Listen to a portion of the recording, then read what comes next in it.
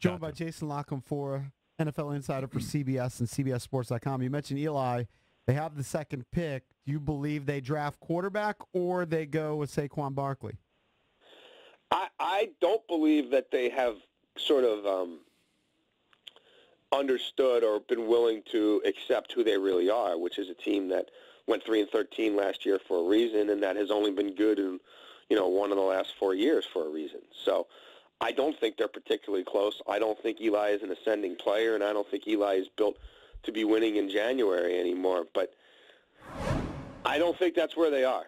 Uh, they, this offseason would have played out a lot differently if they were. And, and now all of a sudden they seem to really like Davis Webb, although they've been allegedly a big part of sitting Eli and ending his streak was to get a look at Davis Webb as soon as he's ready, and we think he's pretty close. He just needs a few weeks of practice.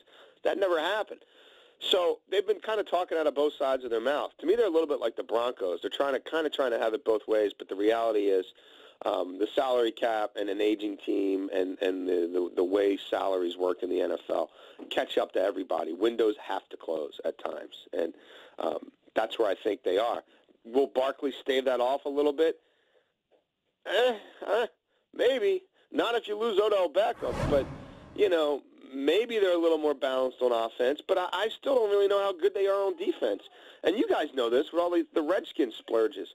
Anytime you do that, you might get two or three seasons out of all those guys together, but then that's it. The contracts blow up. The way those things are structured, you're not able to keep, you know, Harrison again and keep paying him that money because now you have to pay Landon Collins too, and you're trying to figure this thing out with Odell and Olivier Vernon hasn't been able to stay on the field as much as you like. You've already traded away one of the guys part of that splurge, right? Pierre Paul, mm-hmm. who got franchised that year. I mean, it's just like, good luck, man.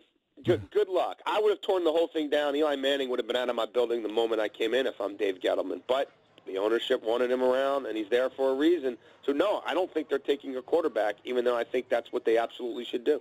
Jason, do you like the Pernell McPhee signing by the Redskins, and do you think they still have an outside shot at Jonathan Hankins? And if Hankins doesn't wind up here, where does he sign?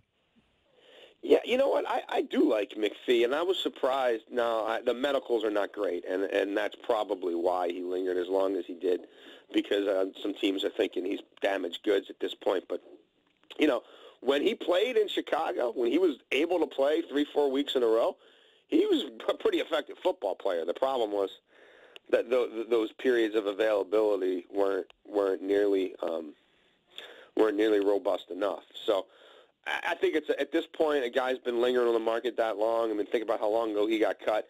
You're, you're, it's a value play, and you may get some bang for your buck. So I, you know, I I like it. I mean, it, it, it, does he end up being a guy who only plays eight games? Maybe, but you might as well take the risk. And they're obviously trying to get some assets into the defensive line.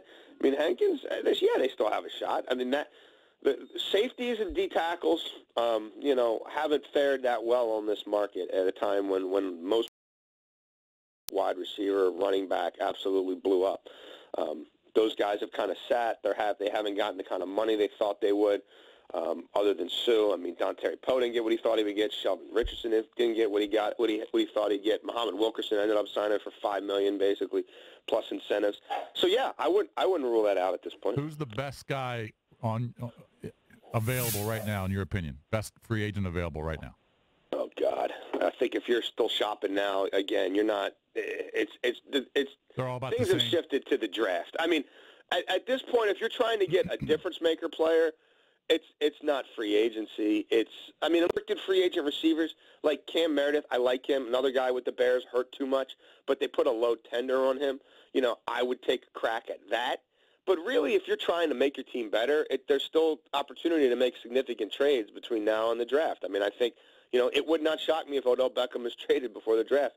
It would certainly not shock me if Earl Thomas is traded before the draft. Like, there's there's some real difference makers there, and then safety. I mean Eric Reid's a pretty good football player. Right. He, he's not special. I don't know if he's going to live up to his first round billing, but he can play in the league. Kenny Vaccaro can play in the league. Ron Parker can play in the league.